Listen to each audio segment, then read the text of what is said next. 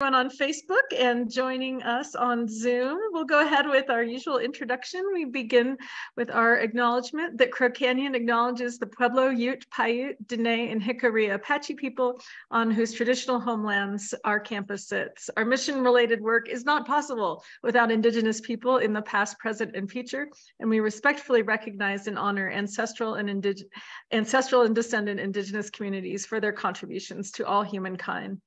Crow Canyon is grateful to all Indigenous people and we support the preservation and protection of cultural traditions, ancestral connections, and sacred lands. Let's see, I know we are all Zoom experts, but just a quick reminder to pop your questions in the Q&A instead of the chat so that they don't get lost and we can do our best to get them all answered. We're live streaming on Facebook if Zoom gives you some trouble.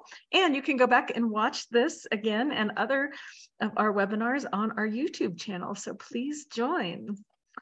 We have our friend uh, next week, uh, Dr. Mike Adler, coming uh, to talk to us about managing change in the ancestral Pueblo world. So please come and listen to Dr. Adler. Uh, and before we start, just a huge thank you. We had so many people who attended our 40th anniversary conference last week. It was unbelievable, uh, spectacular. Everyone who joined us, all of our speakers, our staff who worked their tails off for that conference. Um, uh, somewhere along Friday evening, I was going, this is amazing. We should do this more often. And then by the end, by, by Sunday morning, I was a little pooped, as was everybody else. But thank you so much. It was it was spectacular. We're still processing everything that we learned and discussed there, and we'll be seeing some uh, some pictures uh, and some and some thoughts about that coming to your email and social media and mailbox. And thank you to everyone for your generosity. Crow Canyon does not work without uh, your contributions um, to our annual fund, to webinars, to the conference, to all of our departments. We are just so incredibly grateful for all of you here at Crow Canyon.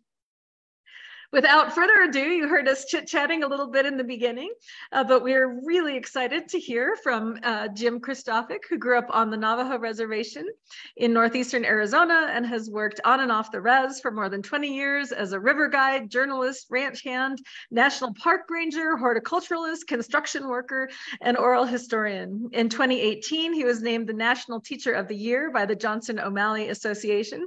He has written for the Navajo Times, Arizona Highways, Native Peoples Magazine, High Country News, Parabola, and Travel and Leisure Magazine. He is the recent author of House Gods, Sustainable Buildings and Renegade Builders, as we were chatting about just before we got started.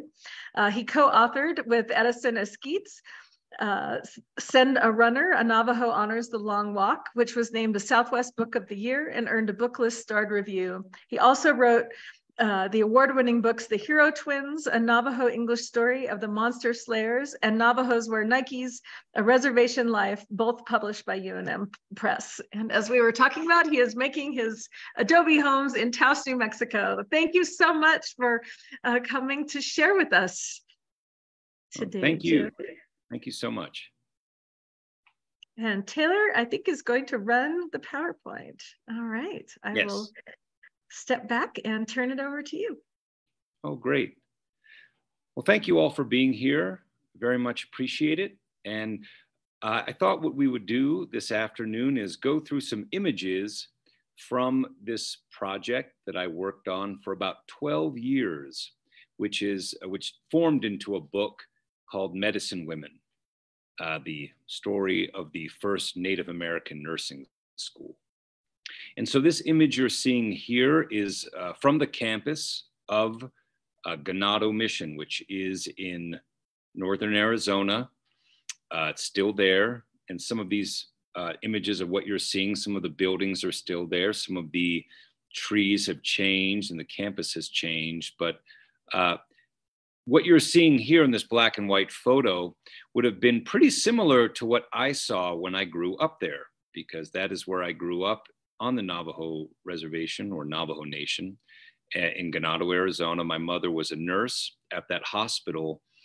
And seeing photographs like what you're seeing here uh, were what fascinated me at the age of nine years old. I was a Boy Scout in Ganado. And what the building you're seeing in the background, you'll see some doors, a stone building that's uh, near that sign that says Practical Christianity in Action, and that's the church there in Ganado.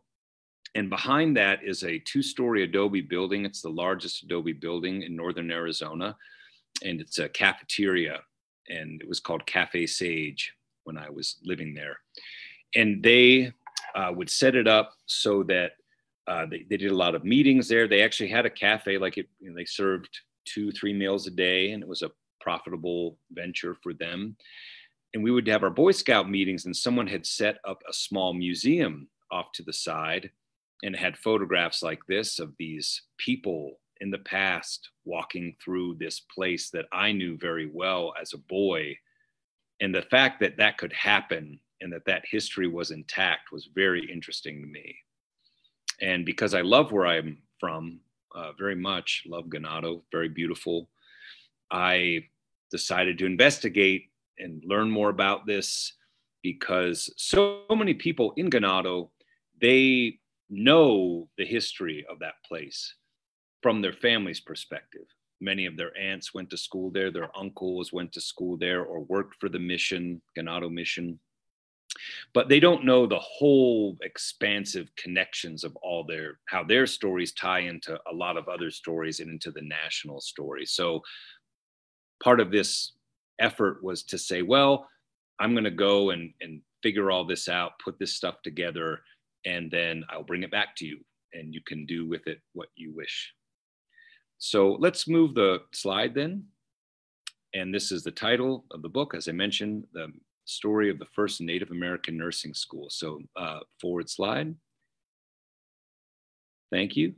Uh, so what you're seeing here is a photograph that I took of a sign that used to be placed at the Route 40 junction near Wide Ruins, Arizona, just south of Ganado. It's not too far from Petrified Forest and Painted Desert. And you have this sign that says largest Indian mission in America, which is true. At that time, this kind of bombastic font and this energy from the sign came out of the mind of Dr. Clarence Salisbury, who was a very dynamic personality. Uh, he was a very humanitarian human being. He was a, a Canadian who moved to uh, New York, where he received his doctor's training, and he went and served on the island of Hainan in China for almost 20 years before he returned to the States and took up the position there at Ganado. The, this sign you're seeing is a second generation sign, though. The original sign said largest Indian mission in America, Ganado Mission, Ganado, Arizona, 40 miles straight north over the worst roads in the state of Arizona. And he would put that on there to embarrass the government into improving the road. And he did so in a very bold way. So that was like, it was, I, I wish I could get a photo of that sign. I've seen pictures of it that are black and white, but this was uh, live. This sign, I do not know what has become of it, but I got a good photo of it to show how the place was showcased in the 19, this would be late 1940s, early 1950s, the School of Nursing, the community centers, and the high school that were state accredited. So, uh, so let's go to the next slide. Okay, so this is uh, an image of Fort Defiance. And this is where the Presbyterian Church first encountered Navajo people. And this happened about 10 years after the Long Walk. They, they, they came out there and uh, 1868, Navajo people had returned. Presbyterians came out not too long after, tried to establish a hospital, a missionary station. But there were many uh, forces at work that really kept them from wanting to go to that fort because it had been a site of the war. The act, you know, people had died there. People, battles were fought there. There was a lot of bad blood at this place, and uh, the government eventually set up a headquarters there, which it, it's still there to this day, not too far from there. Um, and they had a, you know, the, the, the government hospital was built on these grounds, but uh, people were not coming in to see this Presbyterian mission uh, and this missionary who were there. And so that folded, and really nobody tried coming back out there again to do any kind of medical work. or any kind of um, proselytizing or mission work uh, uh, for quite a while. And it wasn't really until the 1900s, the turn of the century, about 20 years later, that someone did that. Okay, so let's go to the next slide. And the, the person who did that, uh, this all came out of the church in Flagstaff, the Presbyterian Church in Flagstaff. And so uh, these elders from that church went and found a man who had experience as a successful missionary. Today, you'd call him like a social justice advocate. His name was William Riley Johnston, and I'll show him to you in, in, in a moment. But he was from Kansas, and he had spent his teenage years in those kind of like micro terrorist wars that were going on in Kansas. There was like the dress rehearsal for the Civil War, they call it. There's a lot of brutal fighting there during the Civil War, off and on.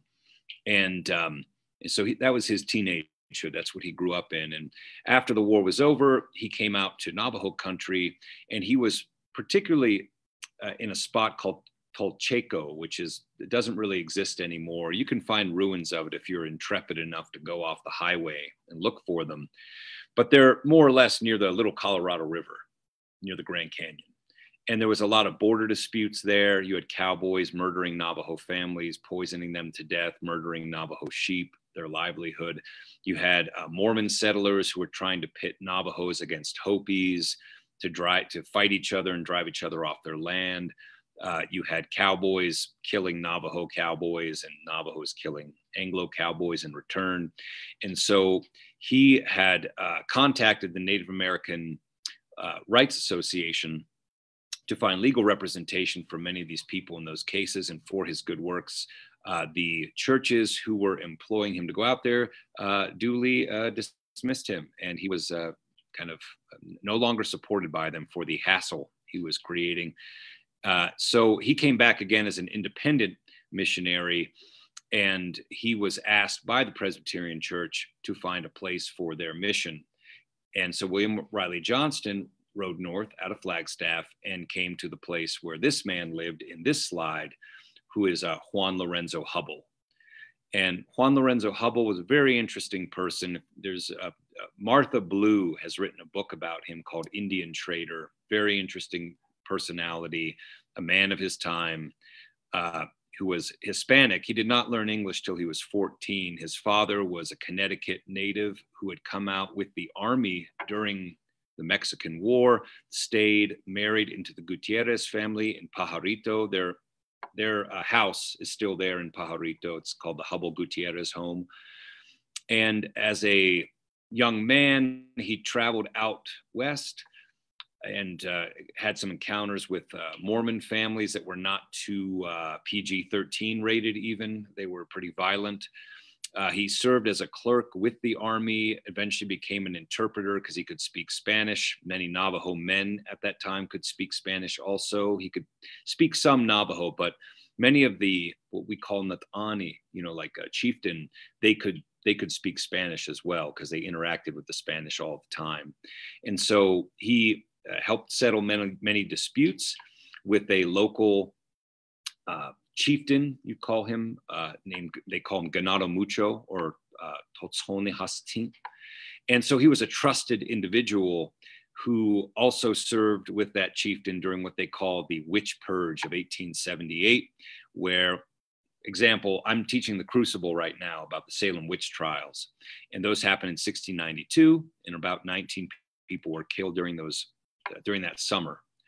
Uh, the 1878 scenario. You had Navajo witches making war on other Navajo witches, medicine men getting involved back and forth, depending on what their allegiance was. And uh, there was a dispute among the people about whether to go to war with the Americans again. One faction said, We're not doing that. They're going to put us through another long walk. The other faction said, Well, we're doing it. And so those Navajos who did not want war again had to kill those other Navajos who did. And they call it the witch purge. And about 45 to 50 people were killed during that summer in that war. And the army uh, intervened in the end uh, in what they call the Tunicha Mountains, which is that stretch of mountain between uh, the Chuska Mountains and the Carrizo Mountains, uh, right on the New Mexico Arizona border. And he was one of the interpreters during that time. Being a trader at the time, he joined the army. Who had he, he had been a uh, you know um, a clerk in the army. He'd been a soldier, and, uh, and and with that settlement that he helped establish, his reputation was very high. And so William Riley Johnston brings these men to Juan Lorenzo Hubbell to ask him about could a mission work here. Juan Lorenzo Hubbell wanted them to be there. He was a Catholic, but to him that didn't matter if it was Presbyterian, that was fine. He went to a Presbyterian school. That's where he learned English in Santa Fe. And he uh, really did want a doctor and a school to be there because he knew that would be good for the community. It would increase his prestige. And that building that behind them that you're seeing was built there uh, in the years right after the mission started working there. And, and that building is still there to this day. Okay, uh, next page.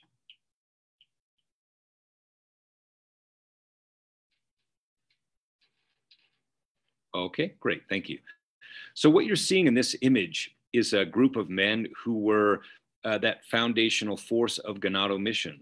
And so the person with the one over his head was a missionary worker named Fred Mitchell, who was originally uh, from the island of Man, and he was uh, British. The man with the four over his head is William Riley Johnston, that the man I described before, who'd grown up in Kansas and ran the mission there uh, at Tolcheco. And the, next to him is a man with the five above his head, uh, a local chieftain named, uh, they, they, would sometimes call him Bewosatene, like uh, no teeth, like because he, he, had a lot of teeth knocked out from fights. And, and uh, he, uh, he was a very trusted man in his area near Little Colorado. And William Riley Johnston, uh, his wife, who is a put with the seven over her kind of on her shoulder there. She was uh, much younger than him. Uh, they did have a family. They did have children. They had children they adopted as well, who are Navajo. Uh, but the the boy you see with the ten over his uh, side there is Philip Johnston. The reason we know a lot about William Riley Johnston is Philip Johnston took the time to write a lot of the history, as did his mother, of their experiences at the time. And Philip Johnston is important to know about because uh, he was fluent in Navajo by the time he was a teenager. He knew that invaluable Navajo phrase, which is age hashwalye. Like, how do you say this? Like, why do you say this in Navajo? And so he would ask that of people where he was growing up, where everyone was Navajo, and learned the language very well and eventually he went on to become an engineer in the uh, Signal Corps, and he was a Marine Corps officer for a period of time. As World War II was uh, kicking up and they knew that they were going to be involved, the United States was going to get involved as a member of the Signal Corps, he pitched the idea. They're like, hey, there's this native language I know pretty well, and like no one really knows about. And Navajo people, very intelligent people. So we should start a program where we you know, we'll keep it classified, but like we'll get Navajo people and put them in Signal Corps and the Marine Corps, or you know, he was a member of, and we'll get them on the radio, and then it'll be an unbreakable secret code we can use, which was not declassified until 1969, which we now know as the Navajo Code Talkers. So that started, that idea began with this image you're seeing. That's a slice of it where Philip Johnston grew up with Navajo people, and he was a Marine Corps officer who brought this idea to the Marine Corps. So, so that's William Riley Johnston's connection to a lot of the uh, lives of uh, Navajo people today. And he was the one who, who uh, solidified that alliance with Juan Lorenzo Hubbell to put a mission at Ganado with the purpose of doing medical and educational work. So uh, next slide. Uh, the person you're seeing here is a man named Charles Bierkemper, who was from Kittanning, Pennsylvania, who came out. He was the first missionary there, and he was known as Enishoretshose, like the uh, thin priest. He's a thin man, and he was by trade a mason. Uh, many of the people who came out to this area had to have actual, like real, valuable working skills. They had to know how to make roads, how to dig wells. They were fashioning what we now call like uh, modern civilization or like a, more a more advanced 19th century version of what they'd had there prior and he was known for uh, setting up many stone buildings he built the first church there and one of the one of the things that put me on the path to write this book was I came back to Ganado to learn more about this man. And I knew that he and his wife, his wife could not uh, become pregnant. She had a heart condition that made it so that she couldn't do it. And they had tried several times. And so they adopted two Navajo children with the permission of their families and raised them uh, all the way until they were in their 20s. And uh, I, I was curious about this man and the people he knew. Many, some were alive, some had passed away. I, I read a lot of oral histories, but what I basically learned, I think I was 21, 22 at the time. Uh, I didn't know like what is the connection? You have this Anglo society coming in. Are they imposing Christianity? On what harsh terms are they doing it? How is it happening?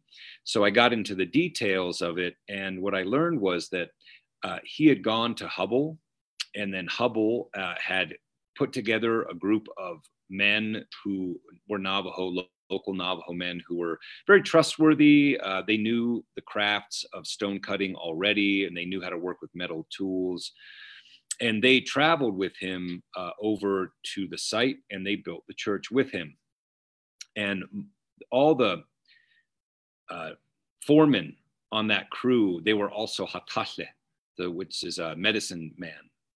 And uh, they would talk. I, I, I, wish I could have been on that job site helping uh, with that. That would have been very interesting to see how they interacted with each other. Uh, but that these men who are also hatashlef, being uh, local leaders in the community, working on this structure, it helped people see or, or uh, trust, let's say, the intentions of the Presbyterians who were coming there. So, right, next image and so this is the this is the building they built this uh, church that's still there to this day. The only thing different is that belfry had to be taken down because it was damaged in the 1960s uh, but the, the structure itself is still there. Uh, it's now used as a duplex apartment house. And and so the, the, the, picture says a lot. They're the Navajo young men under the tutelage or the supervision of, an, of a let's say like late 20s Navajo man who was there, uh, the future Navajo uh, vice chair of the uh, vice chairman of the Navajo tribe, Howard Gorman, also did that job working with these uh, Navajo young men, and they're being inculcated with, you know, essentially like a, a 19th century Americanism that was going to propel them into the 20th century. Because this photo would have been taken about 1920, 1921 uh, long after Bierkemper had left the institution, but the, the church was still there and it was eventually used as a recreation hall. Uh, next image.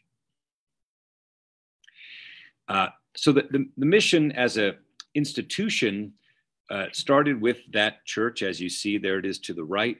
And that was a structure that had a hospital in the back, and that was the first institution of modern medicine in that area.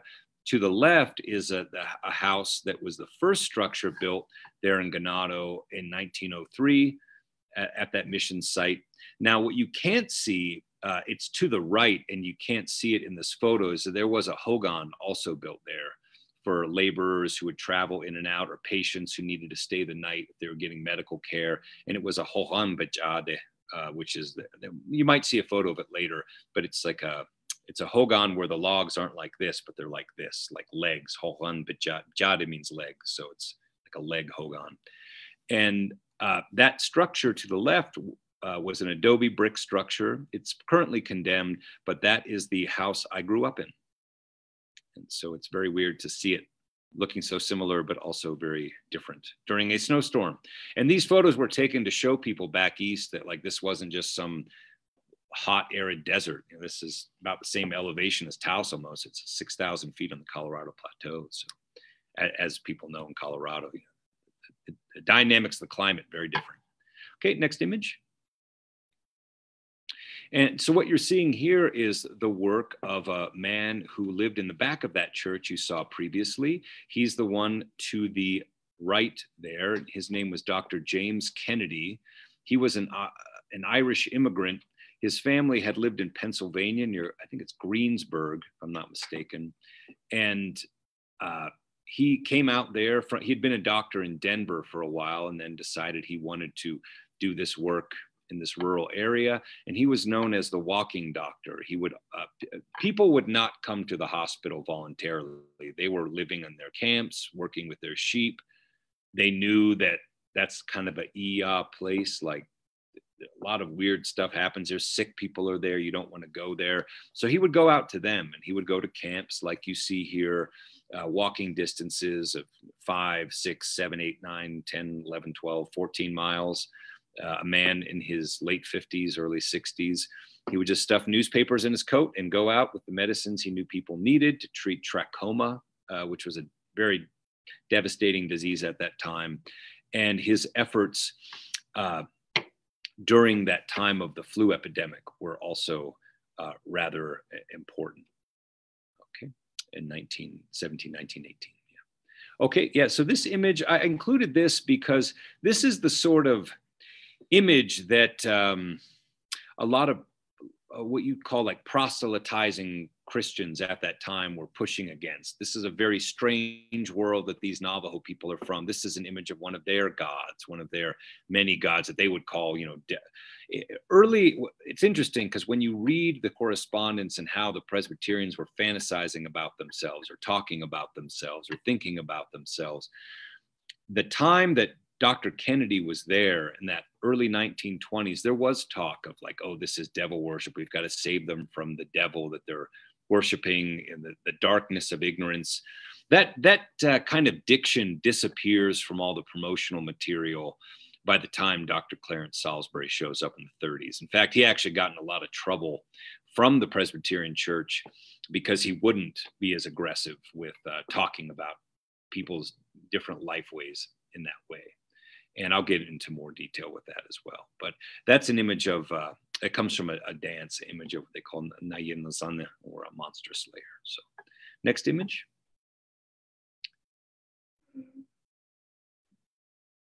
Ah, yes. So what you're seeing here is Dr. Salisbury's achievement. When he arrived, it would have been in 1927. Uh, they drove up from Flagstaff very early, got there. His wife almost had a nervous breakdown seeing how intensely rural the place was. It was like way more rural than China. And uh, but he and, and his wife, who were really a team, his wife was trained to be an attorney. She was very well educated, very dynamic, very intelligent person, a good judge of keeping people motivated, and she was very beloved uh, by former students and, and people who worked there as well. They uh, put together the funding and they orchestrated the building of a hospital. And they wanted it to be a large stone hospital, employing a lot of those masons who had learned their stone-mason craft from Bierkemper and from other uh, masons who had traveled through that area. Some of them were Italian immigrants. And they built this, what they call the Sage Memorial Hospital, which was funded by the Russell Sage Foundation but he thought it was a fitting name as well since there was so much sagebrush. And what you're seeing here, this image is from the opening of the hospital in 1930. Uh, you will notice that there are uh, some cars there, but way more horses and wagons for the people who showed up. And that was the, the state of things at that time. Uh, Chee Dodge, who was the first Navajo tribal chairman, showed up and gave a speech about this institution providing very important service to the people at that time. And uh, that building stands to this day, it's still there in Ganado. You see it when you drive in. Uh, there is a small annex that's been added to it on its east side, but it also was, uh, it's very recent to the, the building itself. It doesn't, you, you can't tell that it's added because it's the same stonework. And now uh, Salisbury had this hospital, but he wanted more and more people to come to it, which they had kind of refused or they had uh, were reluctant to do. Uh, because as the book begins, Salisbury had his uh, first surgery patient come to a smaller hospital that had been there prior to this one being built, and uh, had, this patient had died. It's very sad. They died of an embolism during the the operation. And so people, he was almost murdered that night by her family, actually. The only reason that he probably wasn't killed was a local medicine man, a Hatashle named, uh, his name was Hastin Lechida Zahir, they call him Mr. Red Point or Miguelito, he was sometimes called, intervened on his behalf and made it so that the work could continue. And so this is part of that continuation of the work.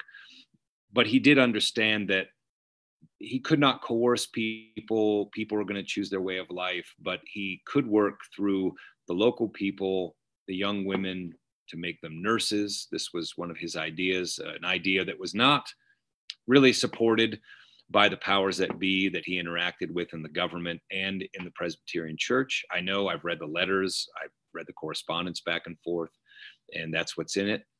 Uh, and then uh, also, uh, he wanted to work through local medicine men as well. And so uh, that was part of his vision and why he wanted to get nurses in this hospital. So, uh, next image. Okay, so the people living around him, they were living rural lives. That's why I included this. This is a, a postcard actually that was in the gift shop. He, he set up a small gift shop there at Ganado Mission for people visiting. And uh, this was a postcard image you could buy of a local woman butchering sheep. And they were engaging in their life ways and Salisbury uh, was supportive of those. In fact, uh, I've seen all the ledger sheets of how people paid their tuition because they could go to the local government school or they could go to Ganado Mission. Ganado Mission gave local people more access to their kids, to their nieces, nephews. It kept them in Ganado, not too far away, uh, rather than sending them far away from to a, to a government school. The children there at the school were able to keep private property, grow their hair long. They weren't wearing two sets of coveralls standard issue of the government. They had they could buy their own clothes and were encouraged to do this so they could become Americans. You know, they, they could become part of the mainstream America, become private property owners, become uh, generators of wealth for themselves, and uh, learn English. And so, uh, women such as this, who probably had a niece or a nephew or a relative at that school, because this is from Ganado, uh, you're looking partly at payment for the tuition because they, they didn't used to charge tuition. And then when they did, they thought, oh, we're probably not going to have as many students coming to the school anymore. Well, it, that didn't happen. People kept paying the tuition, but they paid it often in cords of wood and in mutton. Uh, some people paid in cash, but I've seen all the ledgers year to year to year to year, and they have it written down in the account books. And most of it's mutton and wood. That, that's a lot of people would pay with, and labor as well. They might loan their labor so that they're uh, so that people who eventually became the nurses at that school they went to that elementary school first.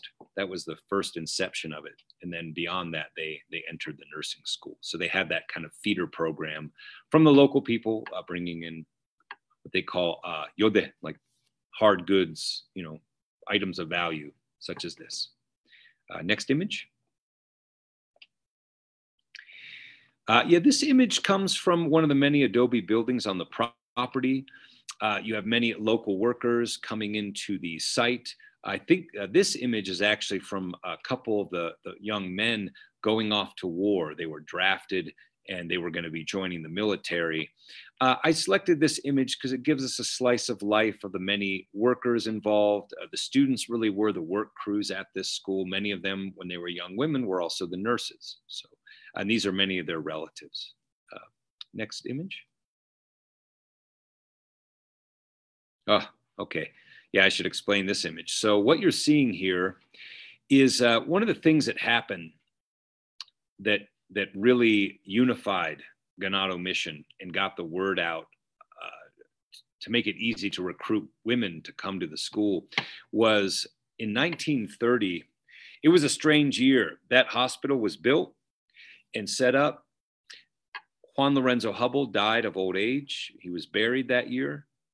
And they had the most intense snowstorms on record, I think maybe in Ganado ever, where you had like six foot snow drifts and people were being trapped out in the middle of nowhere.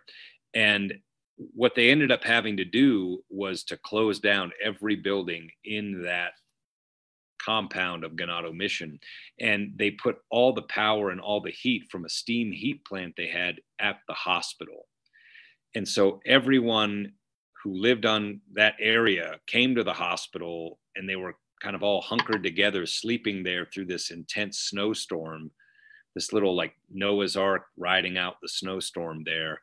And what you're seeing in this image is a group of the mission young men uh, going and cutting down sheep corral wood and loading it up onto wagons to take it to use it to stoke the boilers to create the steam heat to run the place and keep the electricity going in the hospital to treat sick people during that time.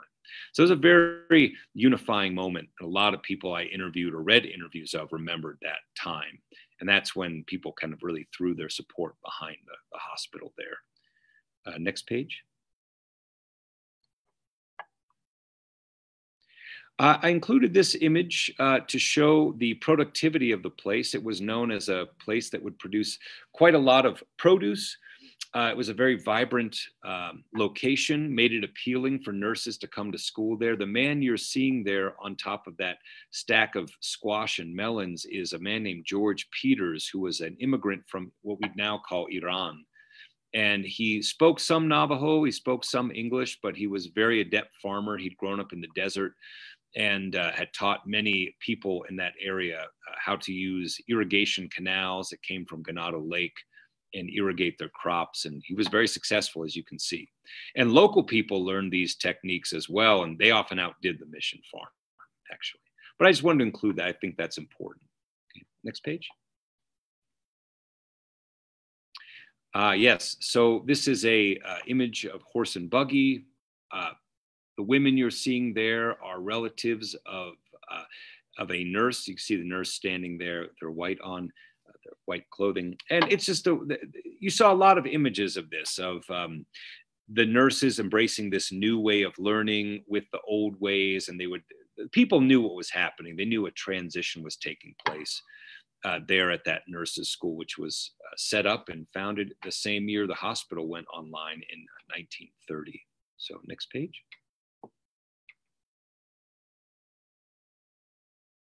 Uh, once again, uh, this was just another part of the mythos of this. So, the, what what supported this idea of nurses being trained, being uh, educated in new ways? You had a lot of things in the literature, the publicity material of Ganado, and here you have, you know, uh, the, the Navajo man on his horse with these three doctors who had come in from.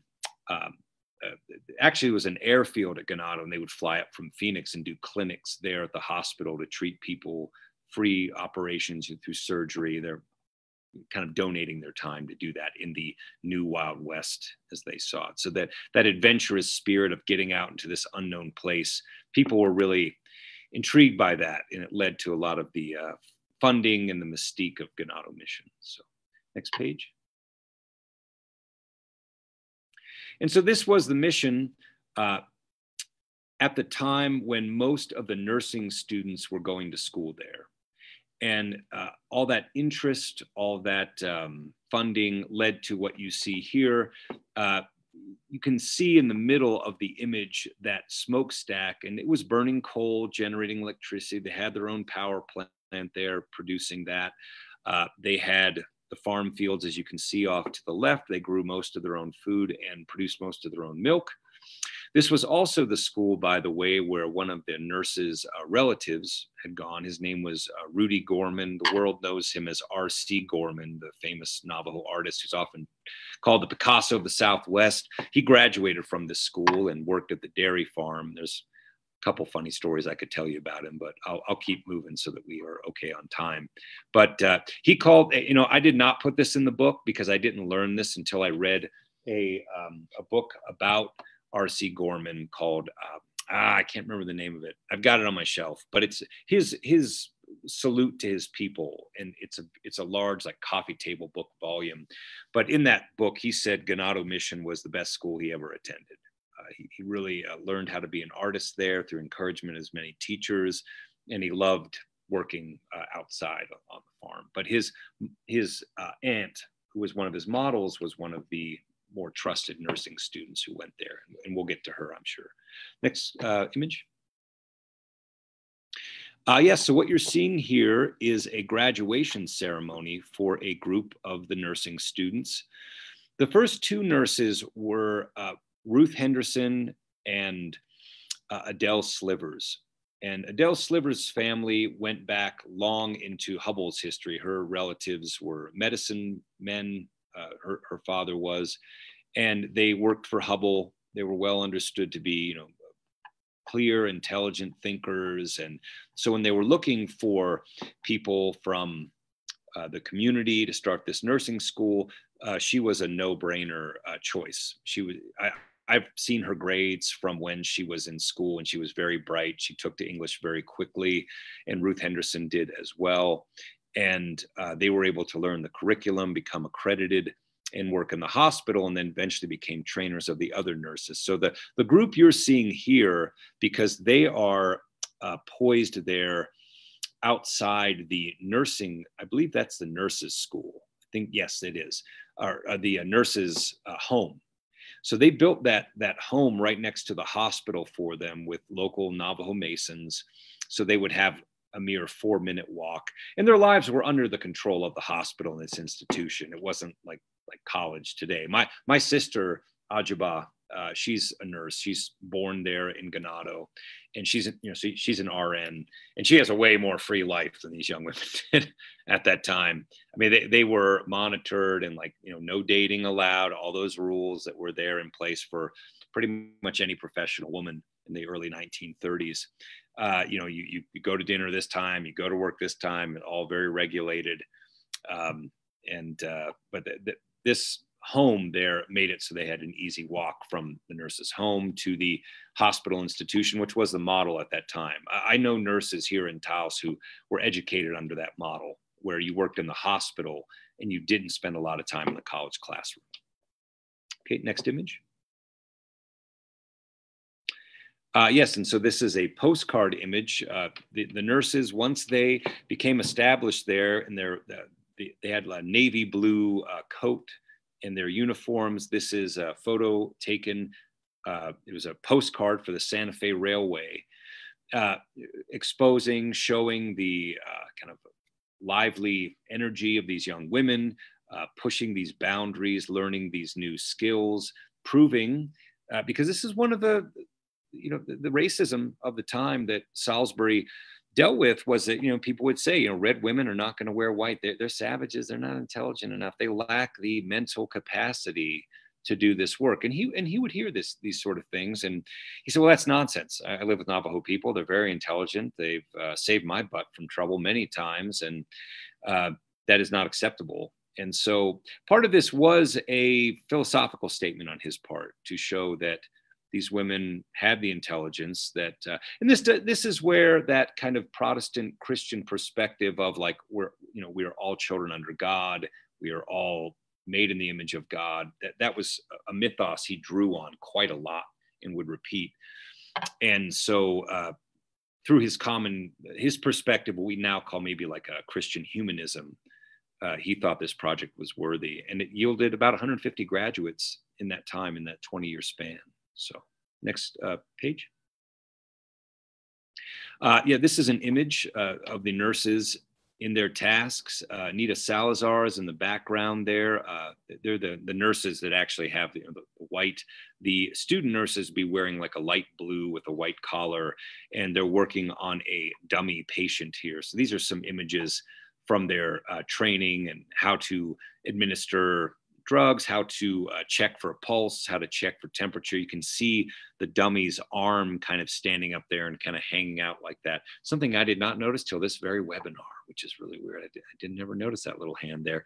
And I assume that uh, she's showing them how to operate a certain instrument to, to monitor the vitality of a patient. But uh, no no other descriptor here. I, I, showed some of these to my mom, to my sister, other doctors I knew, and, and you know, they helped me at times, but this one, they, it, it was all speculative. So next image. Uh, so who you're seeing here is Charlotte Adele Slivers, uh, very interesting woman who I mentioned was the first graduate from Ganado School of Nursing, the Ganado Mission School of Nursing, as it was known. Uh, left there, very independent woman, uh, didn't take crap from people, not even Dr. Salisbury. And when the opportunity came to serve in the Army Air Corps, the, uh, the nursing corps in the what was then called the Army Air Corps, became the Air Force. Uh, she uh, took the opportunity. She served in the Pacific Theater and the European Theater, where she met her husband, who was an airman, and uh, met him. Uh, he, he, was uh, flying missions out of Italy at the time. His name was Charlie Griggs. And uh, this is an image she sent home to her family, who you know her family let me use, uh, showing her in her uniform. And she became a lieutenant and was a very capable uh, field nurse during that time. escaped a Japanese internment camp, kind of a little prison camp in the jungle there in the Philippines, and she was able to escape from there. And uh, very interesting lady. I never got to meet her. She passed away the year I moved to Ganado, actually, of, of natural causes. She lived to be rather elderly, but uh, very interesting woman, and and was very much used in the the promotional material about the nursing school. Uh, as a model of what could be. And if you're curious to read a shorter version, I wrote a profile about her for the Navajo Times a couple of years back. So you could probably Google that and, and be able to find it. Okay, next image. Uh, so who you're seeing here is somebody who probably shouldn't have gone to that school according to current wisdom at the time. So much of uh, the time that the School of Nursing was operating was during that time when Germany had a lot of conflicts, Japanese had a lot of conflicts with America, and of course World War II breaks out. Uh, 1941, U.S. gets involved, and as you may know, during that time, uh, Japanese Americans were forced into internment camps. And so the person you're seeing here is Sally Mizokame, who was in a Japanese internment camp in Tucson, Arizona. Dr. Salisbury had heard that she had a talent. Uh, she's a very intelligent person. He did not agree. He, he wrote many editorials not agreeing with the internment camp policy. He he was not a uh, he let's say this. Uh, anyone who would argue with me that the United States did not have fascist tendencies during World War II, I would highly advise them to read more. Um, we certainly had it uh, in our in our national character at that time. There have been many historians who've argued that you know uh, fascism won World War II essentially, the, the, fusion of corporate and government forces coming together. And uh, as part of that, though, uh, you know, we we imprison people. He is not a fan of the A bomb being dropped. He he supported doctors who spoke out against that. He was not for nuclear weapons.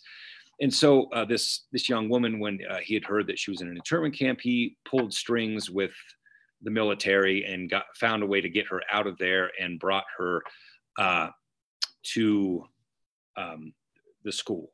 And she became a nursing student there, and uh, and actually uh, graduated from there and uh, scored the highest score on the Arizona Nursing Board's exam the year she graduated and uh, set a really high standard and was beloved on the campus uh, with the, uh, the nurses there and with the staff. The staff, many of whom were uh, mission workers, a lot of them weren't, weren't born in America. The, the doctor who ran the nursing school, for example, was actually born in Chile. His name was William Duncan Spinning. He, if you saw him, you'd see, you know, an Anglo man, but he spoke fluent Spanish and spent a lot of his time in South America before coming up into America. It was a very talented doctor and uh, kind of a high-strung individual, but very creative and well beloved by the by his students who were the, the nurses there. So next image. Uh, yes, yeah, so you're seeing this image. Th this image was on a lot of material when I was growing up in Ganado. This image of the old ways meeting the new ways. And there's something in this image that prompted other people, uh, you know, people to say like, you know, th- these new ways were perhaps excluding the traditional ways. And uh, there's some truth to that. I mean, the campus, I, mean, I interviewed uh, many students who had gone to school there and read many oral histories with students there. And, you know, they, they, they loved their teachers at this school. They loved the people who ran it. They really enjoyed them. They had nothing but fond memories. And they would also tell you we were not allowed to speak our language there. Uh, you know, we'd be punished. We had to dig graves if we talked English, if we talked Navajo, if they caught us. Um, that that was unpleasant, um, and uh, we didn't appreciate that. But we really liked the people at the same time. So it was this very interesting mix of emotions. Uh, but uh, as an investigator of this material, which is what I considered myself to be, I was just trying to figure out what are people saying, report what they're saying.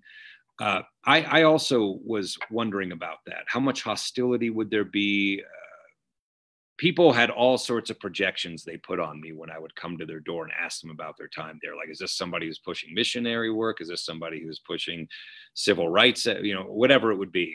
I, I would just try to be as neutral as possible and report on it. But uh, what I found overall was a goodwill toward the instructors, uh, an understanding of the historical moment they were in. A lot of the Navajo students who went to that nursing school, who graduated, became nurses.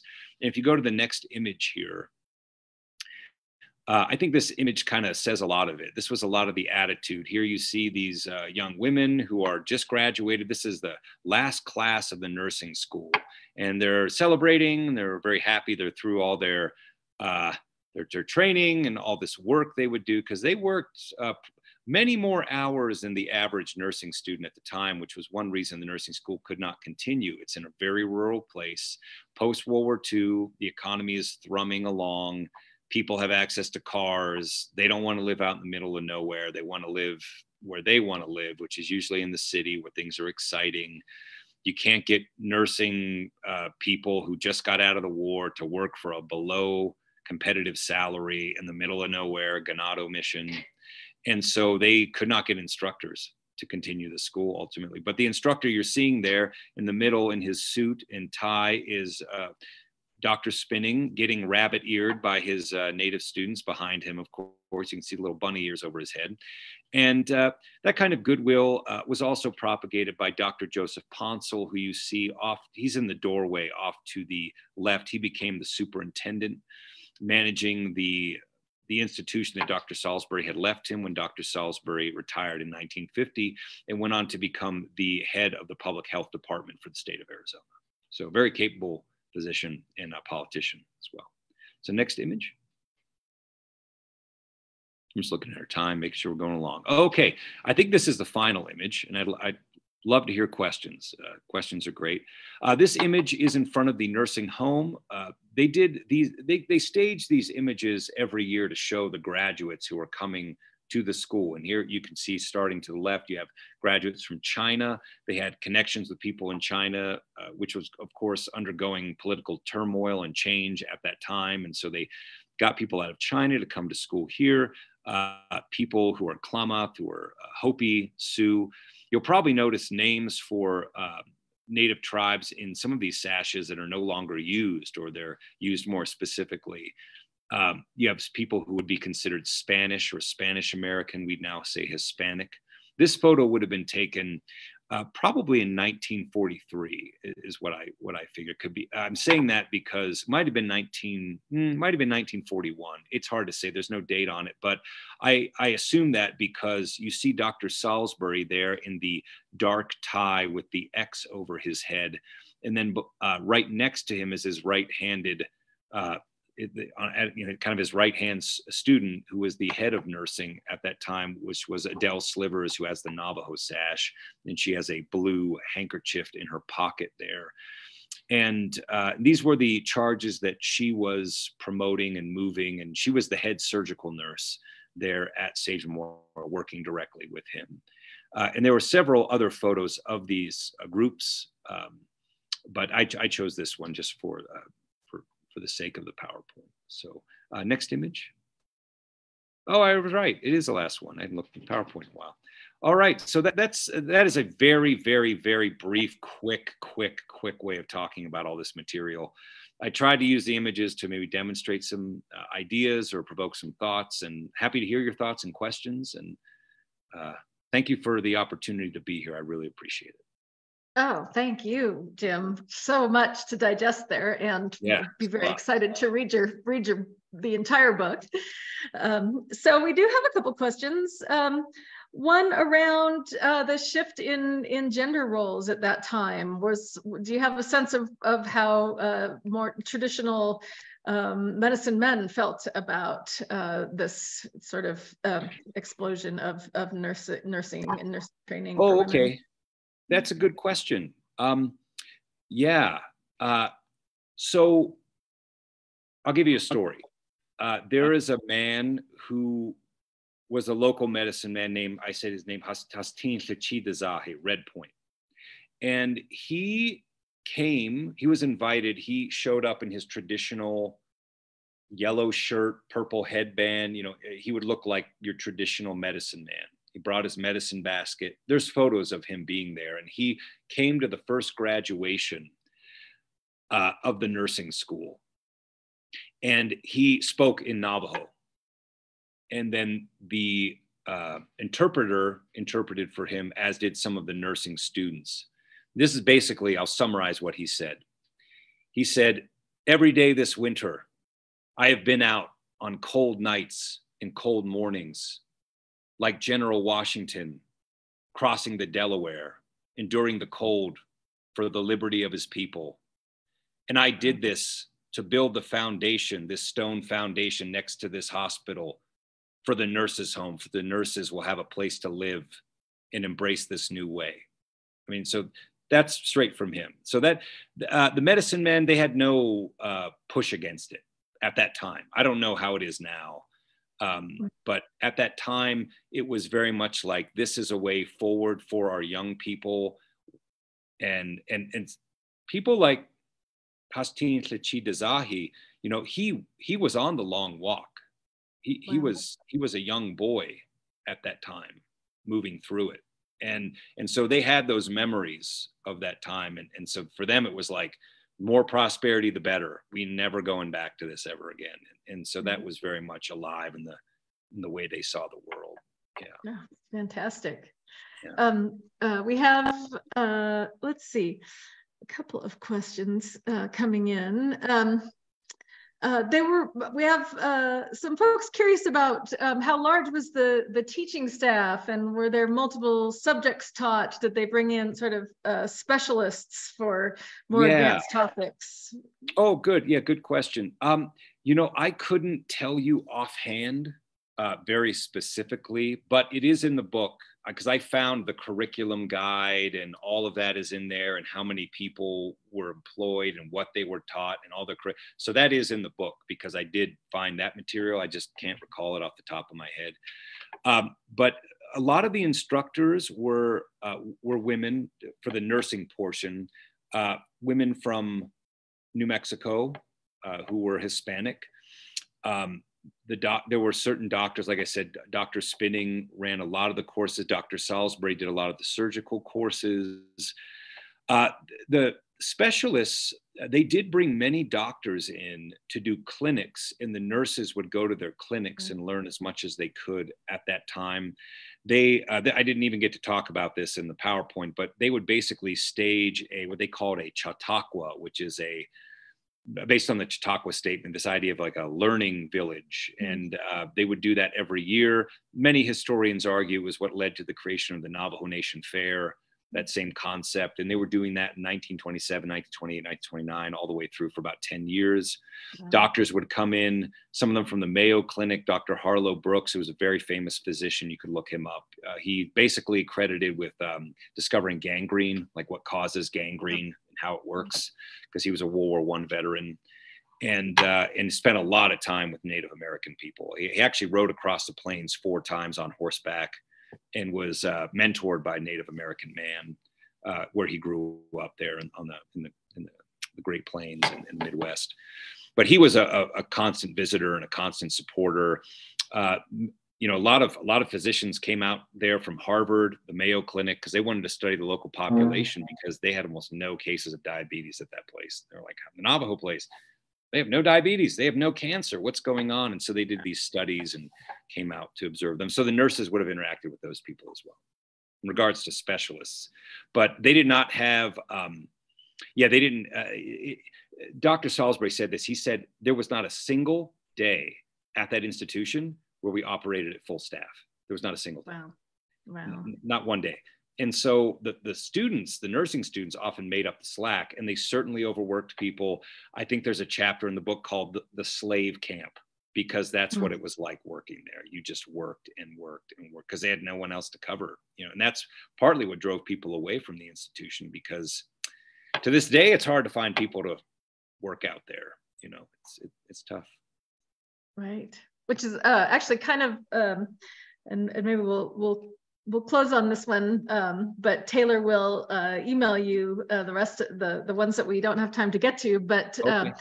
uh, uh, did did the nurses who were trained did they uh, do you know if many of them stayed to serve uh, in their own communities uh, on the reservation or if they went on to okay. other opportunities you know what um, i have a theory they would have if um, the presbyterian church had stayed current because what did happen i noticed this trend and this is my opinion uh, this is speculative, what I'm going to say. Uh, they did come back, many of them. Uh, and that was the goal. Salisbury wanted that. He wanted them to return and, and you know, and, and help their people. And they did do that, but they didn't last long at Ganado Mission, their mm-hmm. alma mater. And I think this was for two reasons. Number one, they weren't, they, they didn't have any incentives to stay there uh, financially they could go get a government job at an IHS, what became IHS hospital in Shiprock or Window Rock. Mm-hmm. mm-hmm. And they would make much more money and they were given much more, it was easier. It was easier. They would go to these government jobs and go, oh my God, this is so easy compared to working for the Presbyterian Church. And the other thing was that they, um, I, I, think the Presbyterians uh, burnt some bridges with people um, in terms of um, I don't want I don't want to use the word moralism, but um, when you're when when how you would want to date someone or meet someone to get married to them, that was impinged on several times in the mm-hmm. correspondence and they had a very uh, excellent nurse who was there for example who they, um, they they expelled her because she was seen walking with a man. Wow. Uh, so that that aspect it didn't well it, i mean you and i'm not i'm not saying it was wrong for them because it's their institution they can do what they want with it. But as times changed and the preferences of the average person changed um, the presbyterians did not continue with that which led to their uh, and their church split over it I mean, you know, this, all happened in the late 60s over Martin Luther King Jr. and over progressive policies at the time. Some of the church was cool with it, some of the church didn't want anything to do with it. And so they that led to the split that did happen. And so those elements uh, made it tough for the local people would come back. They did come back, but then they wouldn't stay. That, that's what ended up happening. Hmm. Yeah. Well, what a spectacular presentation. Lots of, of compliments in the chat. And I'm, I bet that the few questions that we didn't get to could be answered by reading uh, your new forthcoming publication. So uh, I encourage everyone, and we will certainly be, be reading it here at Crow Canyon. And Jim, you are welcome anytime come up and talk to us about many things. Uh, our, our folks are very interested in sustainable building out here too. Oh, great. Thank you. Thank you. Yeah, we'll be in touch. That, that'd be great. Cause I, have never, I've always seen the archaeological center on Google maps, but I've never been up there. So that, would be. Oh, absolutely. We would love to give you a tour and, and spend a little time talking. Very cool. Very cool. All right. Have a wonderful evening. Thank you so much. You as well. Thank you.